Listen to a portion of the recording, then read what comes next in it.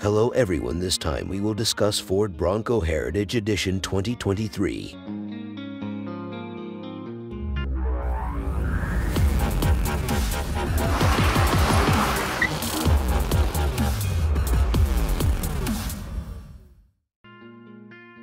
Ford tries to evoke nostalgia by providing a new trim for the Bronco 2023 lineup.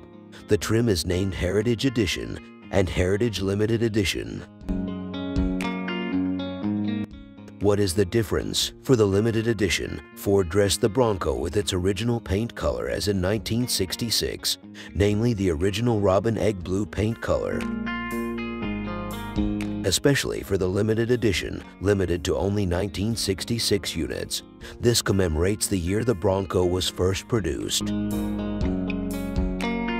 While the Bronco Heritage Edition comes in five two-tone colors, white for the hardtop and red on the body and hood, Ford promises to issue a Yellowstone yellow metallic color option in 2023.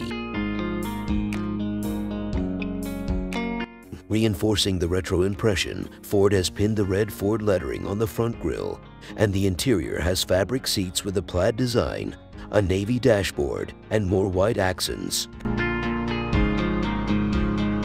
The Heritage Edition Broncos will be based on the Big Bend SUV trim, which gets you a 2.3-liter EcoBoost inline 4 engine that makes 300 horsepower and 325 pounds-ft of torque. Buyers can choose between a 7-speed manual or a 10-speed automatic.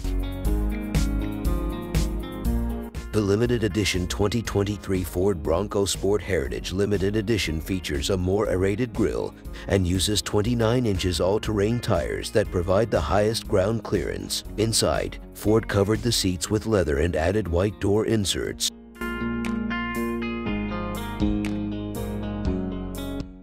This edition uses a 2.0-liter Badlands Turbo 4 that produces 250 horsepower and 277 pounds-ft and has a state-of-the-art 4WD system with a twin-clutch rear drive unit and a rear differential lock that transfers all of the rear torque.